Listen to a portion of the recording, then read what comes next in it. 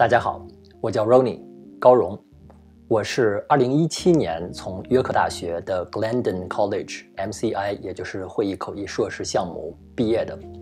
在那之前呢，我是用中文接受了从小学到大学的全部正式教育，所以中文是我的母语，也就是啊我们口译员说的 A 语言。英文是我的 B 语言。现在呢，我是在这个加拿大的多伦多地区。从事口译的工作，主要服务的对象包括一些政府部门、跨国企业、金融机构，还有高等院校。现在转眼毕业已经三年左右的时间了。那么回顾起在 Glendon 读书的日子呢，感觉好像还像昨天一样，可以说是历历在目。我想用两个关键字来总结一下，在我个人的这个经历当中，我觉得 Glendon 这个项目最大的特色。两个字，一个是小，一个是全，也就是说，这是一个麻雀虽小，五脏俱全的项目。为什么这么说呢？首先说小，就是整个这个硕士班级招生的人数，总的来说是比较少的。以我所就读的那一年为例，在二年级，也就是会议口译的这个阶段呢，我们全班当时还有十六位同学。全部语种加起来十六位同学，具体到中文的这个语种呢是四位同学，但是享受的老师的资源以及这个课程的这样的一个设置呢，可以说是非常的齐全，非常的配备精良。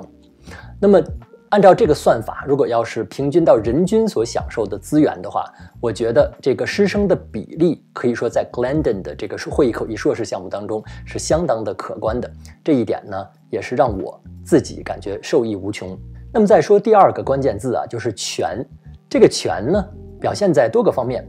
比如说这个课程的设置，把医疗口译、法庭口译和会议口译都融合在了一起，这也是相当大的一个特色。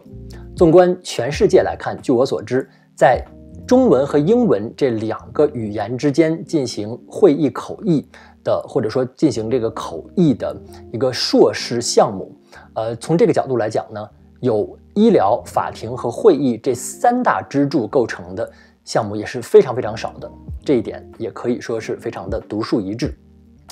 另一个层面的全呢，就是指它的语种涵盖的比较全，可以说这个 Glendon 的上课的教室就像一个小联合国一样。这一点呢，让我自己当时觉得特别的震撼，也是受益无穷，因为我们在课堂上讨论和翻译的很多话题呢。就不仅涉及到加拿大，而且会涉及到很多全球的事物。其中讲到的很多话题呢，其实对我来说是一个大开眼界的学习的过程。如果不是因为做口译，不是因为在这样的一个非常多元的环境下去学习口译的话，很多的话题和很很多的知识点，可能我个人完全不会触及到。而这些话题和知识点，后来被证明呢，在我自己做会议口译的生涯当中，也是非常非常的重要的。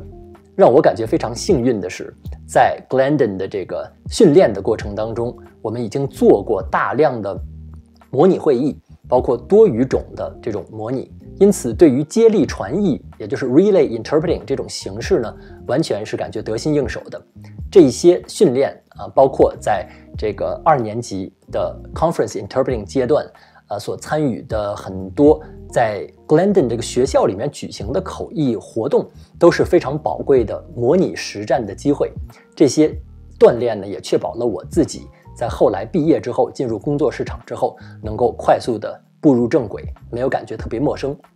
从这个角度来说呢，我觉得从这个口译的硕士项目的课程和实际工作市场当中的需求之间的对接，可以说是非常的紧密，也非常的顺利。